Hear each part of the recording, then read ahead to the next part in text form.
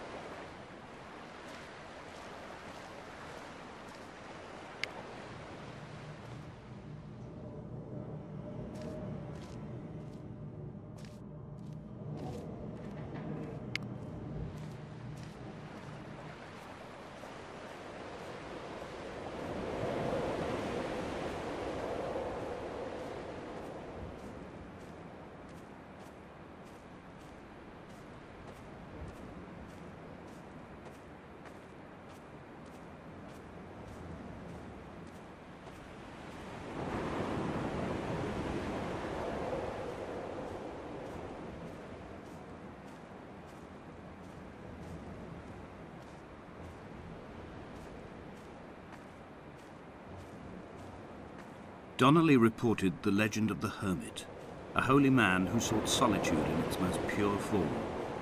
Allegedly, he rode here from the mainland in a boat without a bottom, so all the creatures of the sea could rise at night to converse with him. How disappointed he must have been with their chatter. Perhaps now, when all that haunts the ocean is the rubbish dumped from the tankers, he'd find more peace. They say he threw his arms wide in a valley on the south side, and the cliff opened up to provide him shelter. They say he died of fever 116 years later. The shepherds left gifts for him at the mouth of the cave, but Donnelly records they never claimed to have seen him. I have visited the cave and I have left my gifts, but like them, I appear to be an unworthy subject of his solitude.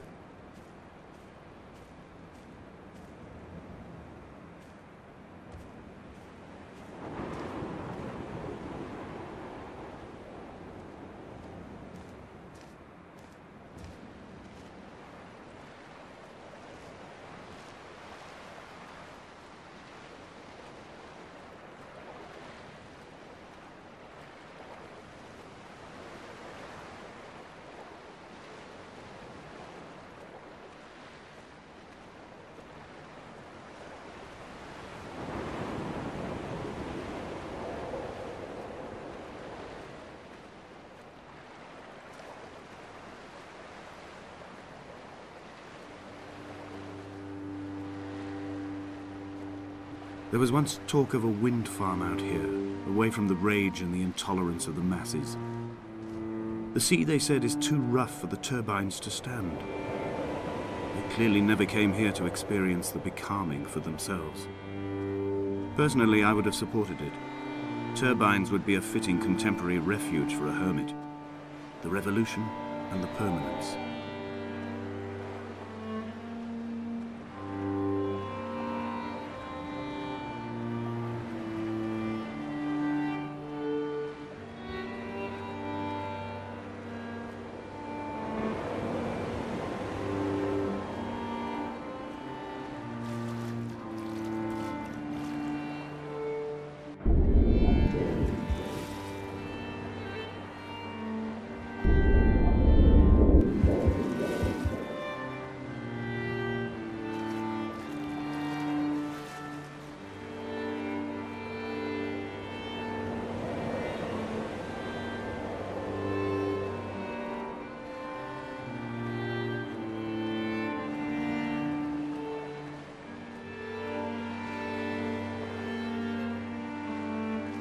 Have found the ship's manifest, crumpled and waterlogged under a stash of paint cans. It tells me that along with this present cargo, there was a large quantity of antacid yogurt bound for the European market. It must have washed out to sea. God knows there are no longer gulls or goats here to eat it.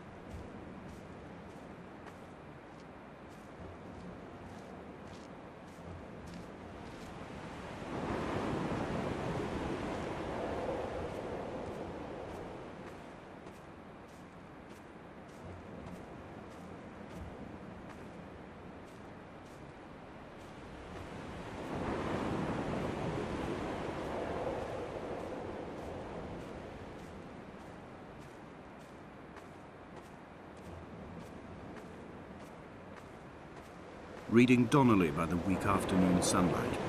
He landed on the south side of the island, followed the path to the bay and climbed the mount. He did not find the caves, and he did not chart the north side. I think this is why his understanding of the island is flawed, incomplete. He stood on the mount and only wondered momentarily how to descend. But then, he didn't have my reasons.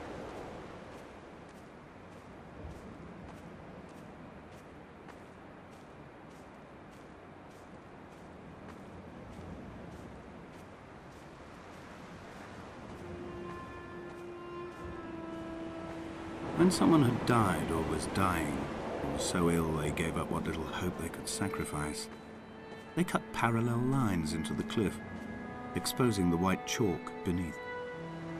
You could see them from the mainland or the fishing boat, and notice and aid or impose a cordon of protection, and wait a generation until whatever pestilence stalked the cliff paths died along with its hosts.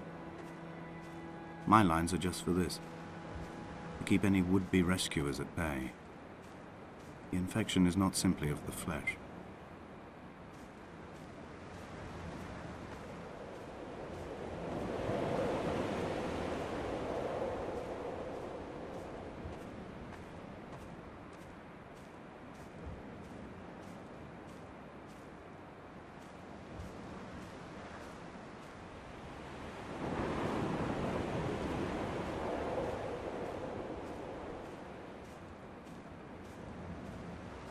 They were God-fearing people, those shepherds. There was no love in the relationship. Donnelly tells me that they had one Bible that was passed around in strict rotation. It was stolen by a visiting monk in 1776, two years before the island was abandoned altogether. In the interim, I wonder, did they assign chapter and verse to the stones and grasses, marking the geography with a superimposed significance that they could actually walk the Bible and inhabit its contradiction.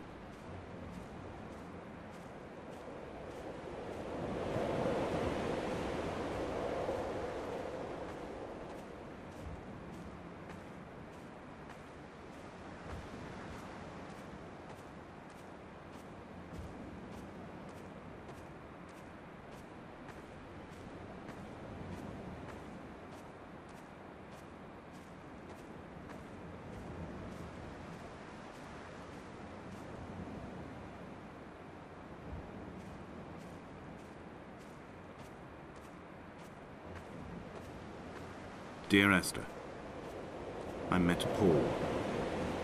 I made my own little pilgrimage. My Damascus, a small semi-detached on the outskirts of Wolverhampton. We drank coffee in his kitchen and tried to connect to one another. Although he knew I hadn't come in search of an apology, reason or retribution, he still spiraled in panic, thrown high and lucid by his own dented bonnet. Responsibility had made him old. Like us, he'd already passed beyond any conceivable boundary of life.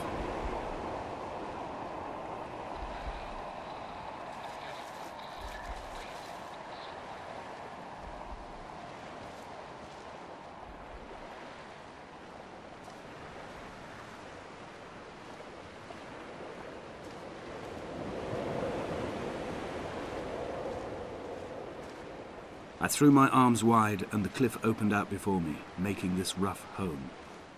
I transferred my belongings from the bothy on the mount and tried to live here instead.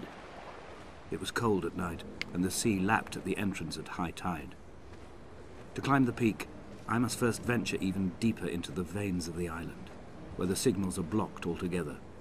Only then will I understand them, when I stand on the summit and they flow into me, uncorrupted.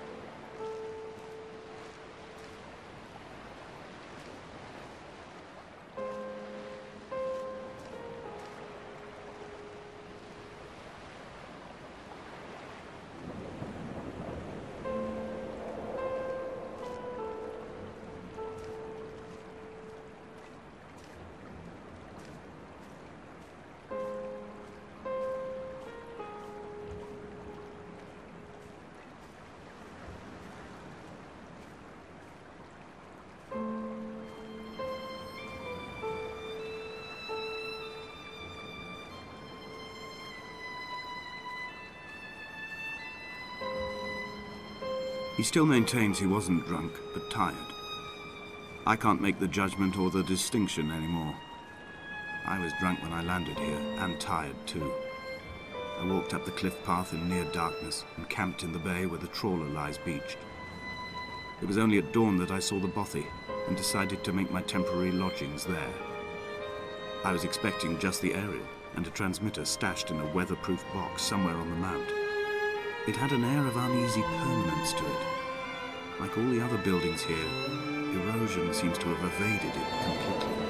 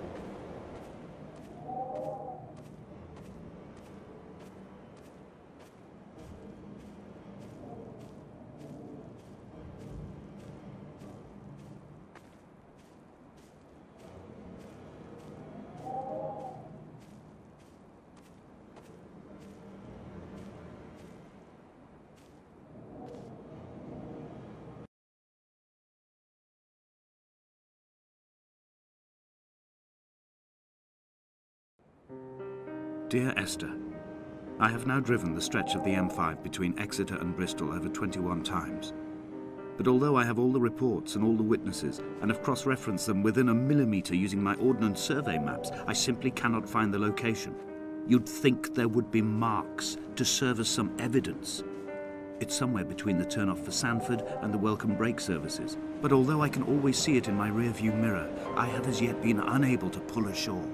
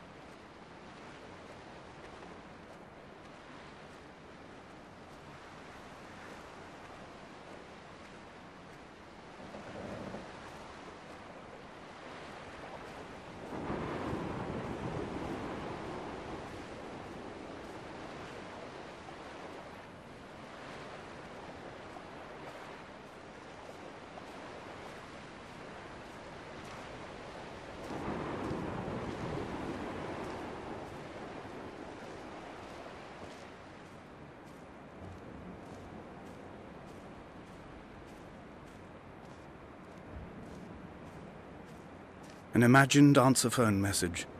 The tires are flat, the wheel spins loosely, and the brake fluid has run like ink over this map, staining the landmarks and rendering the coastline mute, compromised.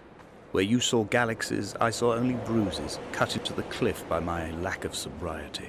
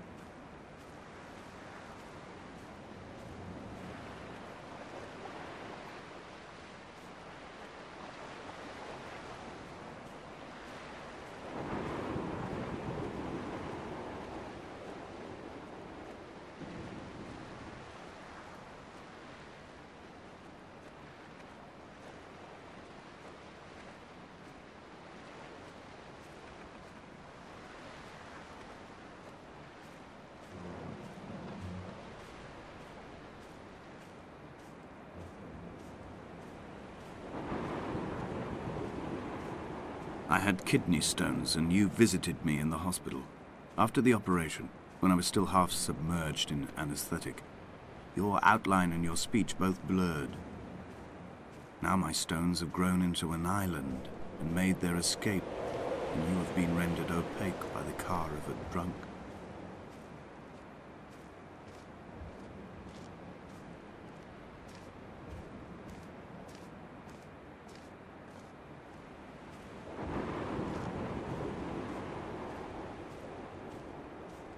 Is this what Paul saw through his windscreen? Not Lot's wife looking over her shoulder, but a scar in the hillside, falling away to black forever.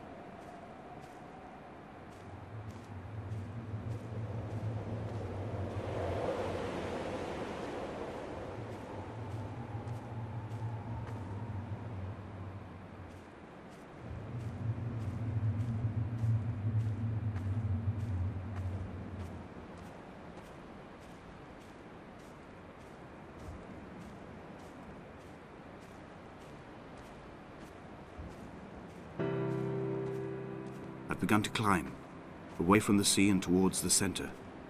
It is a straight line to the summit, where the evening begins to coil around the aerial and squeeze the signals into early silence.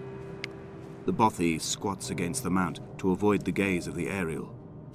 I too will creep under the island like an animal and approach it from the northern shore.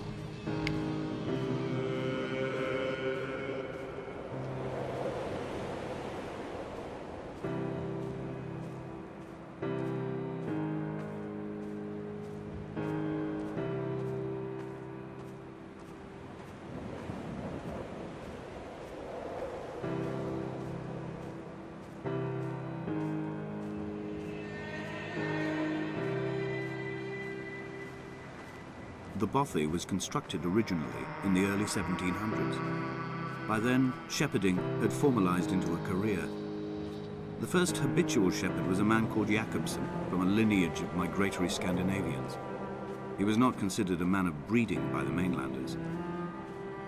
He came here every summer whilst building the bothy, hoping eventually that becoming a man of property would secure him a wife and a lineage. Donnelly records that it did not.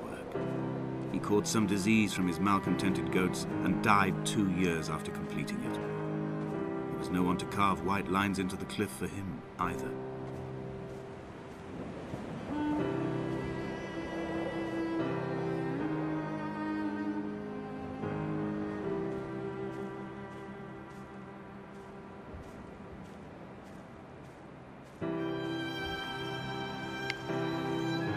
Three cormorants seen at dusk. They did not land. This house built of stone, built by a long dead shepherd. Contents my camp bed, a stove, a table, chairs, my clothes, my books. The caves that score out the belly of this island, leaving it famished. My limbs and belly famished.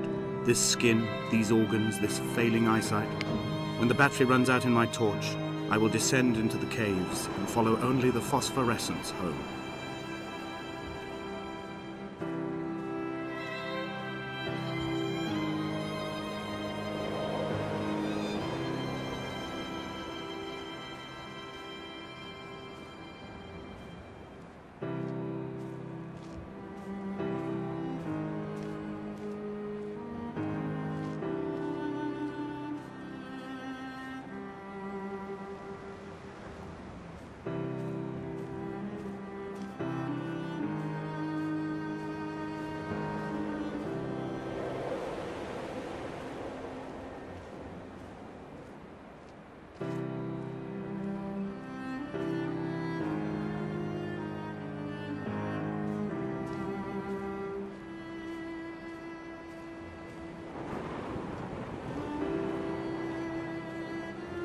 Left his body to the medical school and was duly opened out for a crowd of students 21 days after his passing. The report is included in my edition of his book. The syphilis had torn through his guts like a drunk driver, scrambling his organs like eggs on a plate. But enough definition remained for a cursory examination, and, as I suspected, they found clear evidence of kidney stones. He's likely to have spent the last years of his life in considerable pain. Perhaps this is the root of his laudanum habit. Although its use makes him an unreliable witness, I find myself increasingly drawn into his orbit. They found Jakobson in early spring. The thaw had only just come. Even though he'd been dead nearly seven months, his body had been frozen right down to the nerves and had not even begun to decompose. His fingernails were raw and bitten to the quick.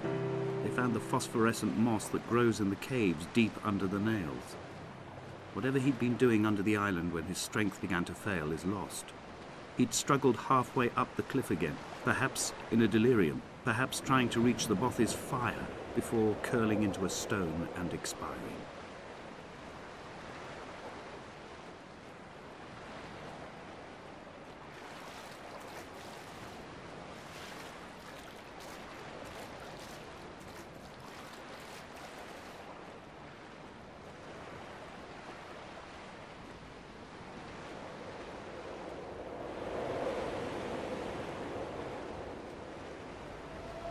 Climbing down to the caves, I slipped and fell and have injured my leg. I think the femur is broken. It is clearly infected. The skin has turned a bright, tight pink, and the pain is crashing in on waves, winter tides against my shoreline, drowning out the ache of my stones. I struggled back to the bothy to rest, but it has become clear that there is only one way this is likely to end. The medical supplies I looted from the trawler have suddenly found their purpose. They will keep me lucid for my final ascent.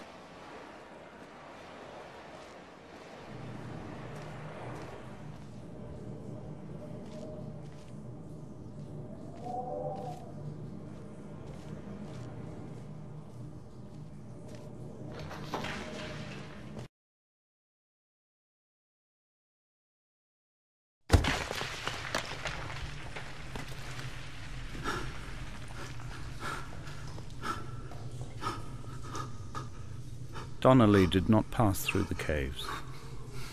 From here on in, his guidance, unreliable as it is, has gone from me. I understand now that it is between the two of us and whatever correspondence could be drawn from the wet rocks.